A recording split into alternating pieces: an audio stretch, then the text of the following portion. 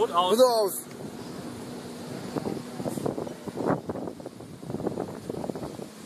So we have a Phaeton coming down the road.